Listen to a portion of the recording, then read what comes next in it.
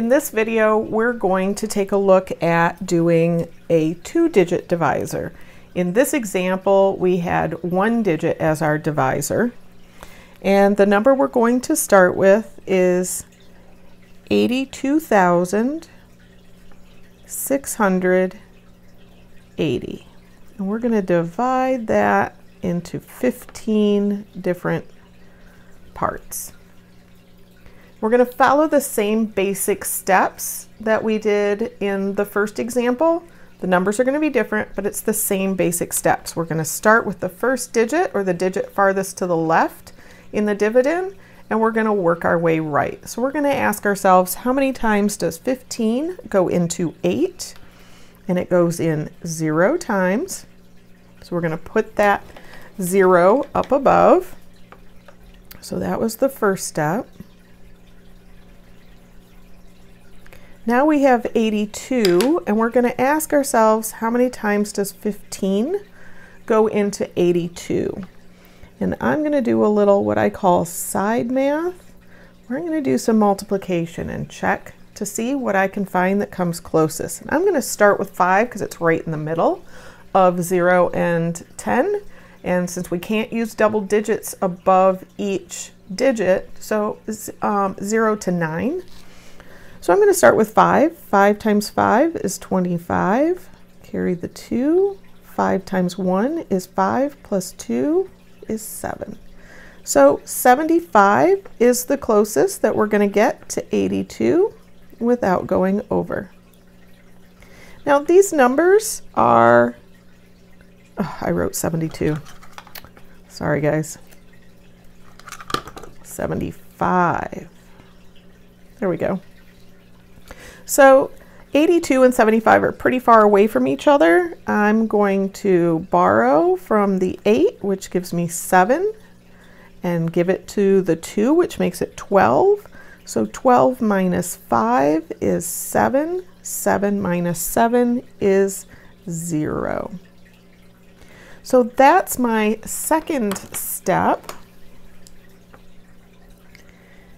And these are the items that belong to that second step. And then I'm going to ask myself what the next digit is, and the next digit is 6. I'm going to bring that down, so I have 76. And if you look, we've already figured out that 15 times 5 is 75. We can use that again with the 76. So 15 times 5 is 75. Subtract that. 76 minus 75 is 1. So that's the next step.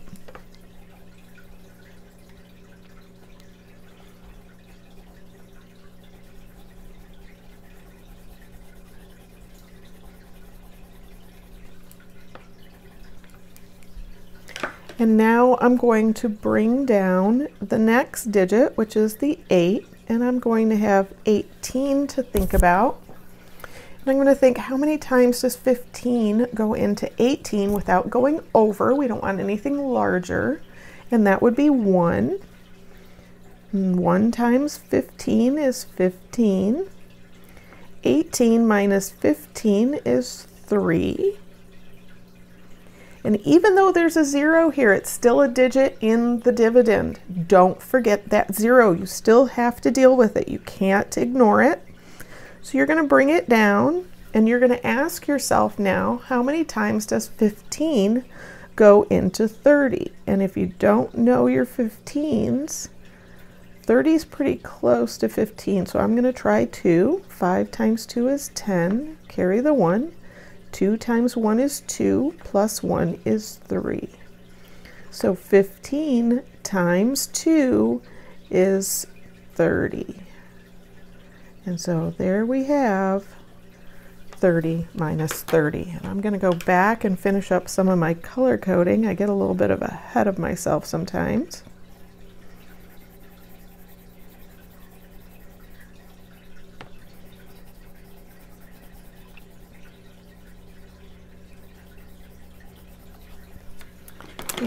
and our last step just happened to be red.